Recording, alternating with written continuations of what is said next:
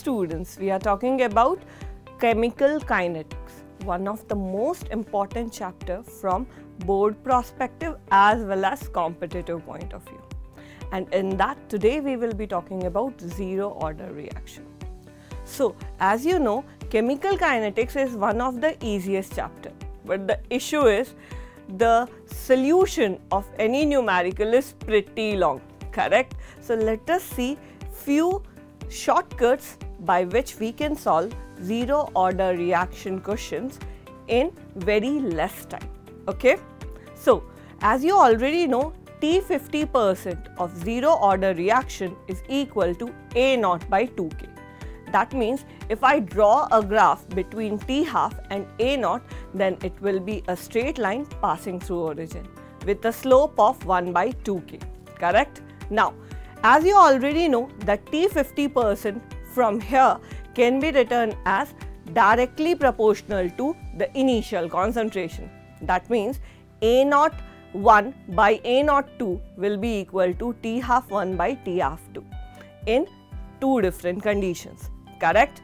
That means if I change the initial concentration, T half value will also change, correct? Now, what else I have to study? Next is disintegration. So, for zero order reaction, there is a very simple rule for disintegration. If we have equal amount of drop, then the intervals will also be equal. Okay? Now, how to understand this? Okay, let us say that I am having 100 as the value of a particular reactant and then it is dropped to 80. Then what is the drop there? 20. Let us say that for this 20 drop I require T time interval. Okay. Then if it drops from 80 to 60 then again the time interval required will be T. Then from 60 to 40 again T. 40 to 20 again T and then 20 to 0 again T. Remember 0 order reaction is considered to be completed by 100%. Okay? Now let us understand this well with the help of a cushion. Let us say that I am having a reactant in 0.5 molar and in 10 minutes it is converted into 0.4 molar. Now the question is what is the T half value. Okay. Now let us see that. The drop in the concentration is 0.1 molar. Correct? So from 0.5 to 0.4 the drop is how much? 10 minutes.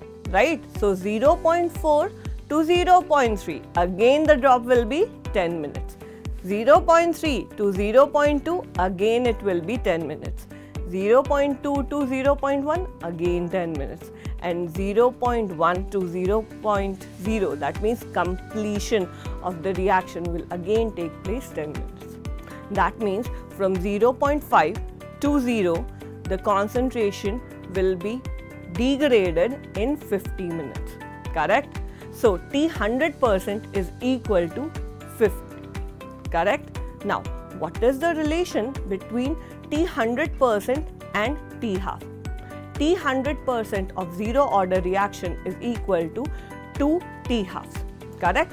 So, the T half will be 50 by 2 that means 25 minutes. Easy, correct? To make your concept stronger and stay ahead in your learning journey, join me and other subject matter experts on Turito app. For daily free concept classes, Download the app right now.